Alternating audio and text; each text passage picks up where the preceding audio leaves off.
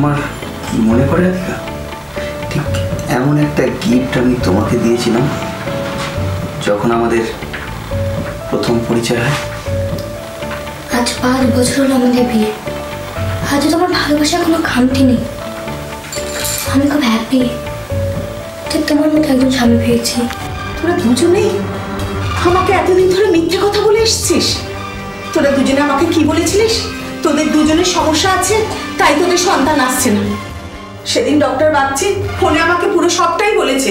কি কি বলছি আঙ্কেল?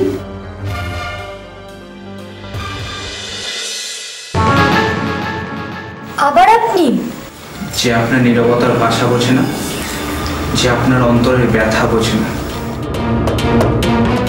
আপনি পৃথিবীর একজন সবচেয়ে সুন্দর দামি একজন স্ত্রী। সে কি বোঝে আপনাকে?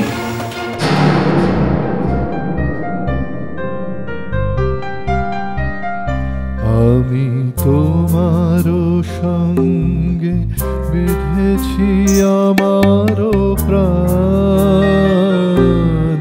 সুরের বাঁধনে আমি তোমার সঙ্গে বেঁধেছি আমারও প্রাণ